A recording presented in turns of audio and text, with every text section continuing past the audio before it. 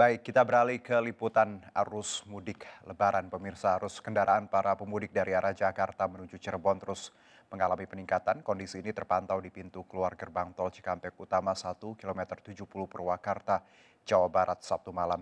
Kendaraan pemudik memadati seluruh badan jalan dan terjadi kemacetan yang cukup parah.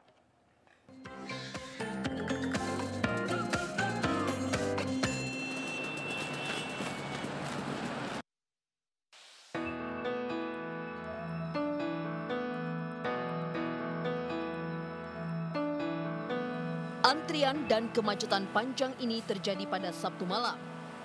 Kendaraan para pemudik terus memadati jalur bebas hambatan dari arah Jakarta menuju Cirebon. Kondisi ini terjadi karena masih tingginya volume kendaraan yang melintas di Jalan Trans Jawa.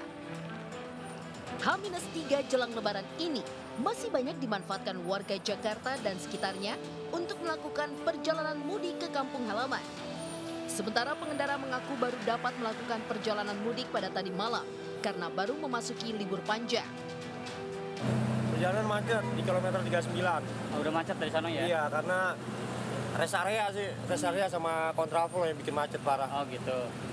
Ya kebetulan malam minggu terus kondisinya udah mulai lenggang pak. Oh, jadi milih nggak terlalu macet ya? Betul. Terus ini dari mana mau ke mana? Dari Kerawang mau ke Cilacap pak. Mau Cilacap ya? Apa? Sekarang Barat. Sekarang Barat udah macet ya? Sampai Kelari. Ini dari mana mau ke mana? Dari Bekasi Timur Mau ke? mau ke Purbalingga Banjarnegara.